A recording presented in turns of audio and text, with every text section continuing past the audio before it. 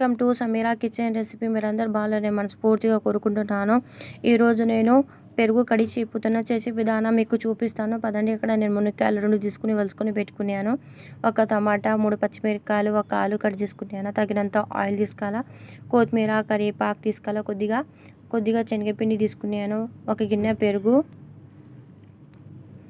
కొద్దిగా జీలకర్ర జీలకర్ర ఆవాలు కొద్దిగా శనగపాయలు తీసుకున్నాను. సాల్ట్ తగినంత చిటికెడ పసుపు కొద్దిగా ధనియాలు ధనియాల మసాలా మూడు మూడు వట్టి మిరకాయలు తీసుకున్నాను.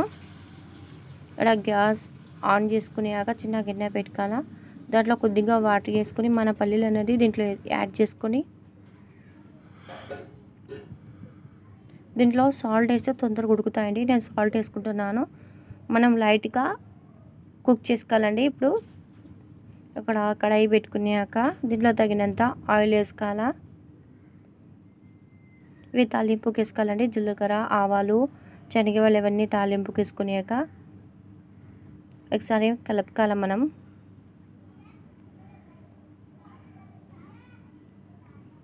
ఆ తర్వాత మూడు ఒట్టి మిరపకాయలు కూడా దీంట్లోనే వేసుకోవాలా? యాడ్ చేసుకోవాలా? మన ఆలు యాడ్ చేసుకోవాలా?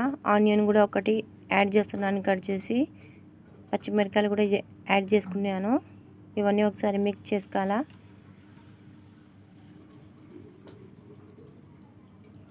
కొత్తిమీర కూడా దీంట్లో యాడ్ చేసుకుంటున్నాను. ఇవన్నీ వేసుకునేక ఒకసారి మనం మిక్స్ చేసుకోవాలండి ఇవన్నీ.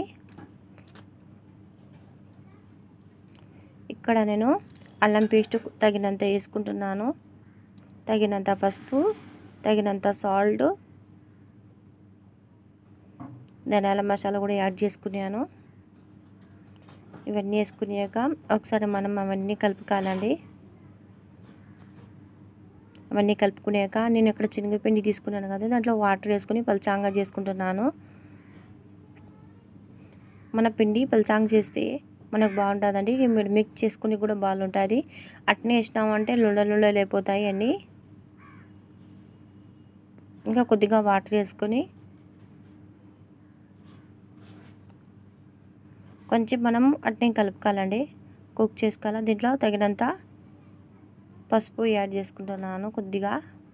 మన పల్లీలు అనేది ఇక్కడ ఉడికిపోయినాయి బాగా. ఈ పల్లీలు దీంట్లో యాడ్ చేసుకోవాలా. ఇవన్నీ వేసుకున్నాక ఒకసారి మిక్స్ చేసుకోండి టమాటా కట్ చేసుకుని దీంట్లో యాడ్ చేసుకోండి. కొద్దిగా వాటర్ వేసుకొని సరే మిక్స్ చేసుకున్నాక మనం రెండు నిమిషాలు కుక్ చేసుకుందామండి. చూడండి మన కుక్ అయిపోయినాయి ఇవన్నీ.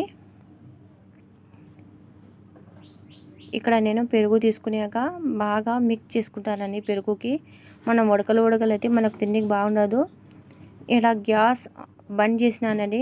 గ్యాస్ ఎప్పుడైనా ఆన్ చేసేస్తే మన పెరుగు ఉన్నది పలిగిపోతుంది మనకి చేకి దొరకదు. ఇక్కడ గ్యాస్ బంద్ చేసి వేసినా నేను.